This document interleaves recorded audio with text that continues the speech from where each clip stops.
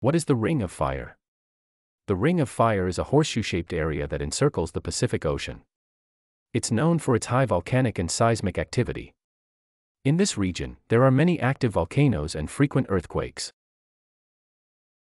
Why does the Ring of Fire have so many volcanoes? The Ring of Fire is a result of the Earth's tectonic plates moving and colliding.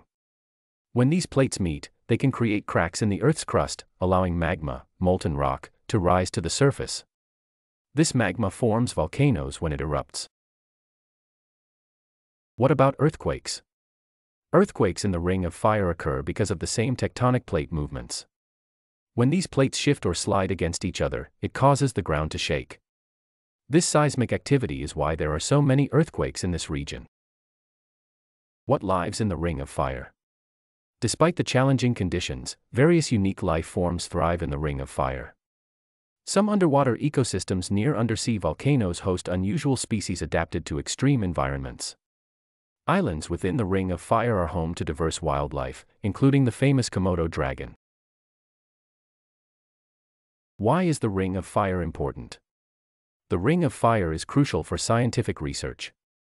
It helps scientists study tectonic plate movements, volcanoes, and earthquakes, leading to a better understanding of our planet's inner workings.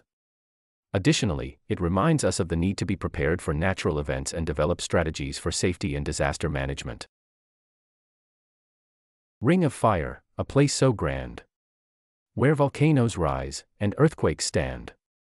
Earth's mysteries, it does unfold. In the Pacific's fiery hold. Unique creatures, wild and free. In this region, they call it home, you see. Science and adventure, hand in hand. Come explore this amazing land.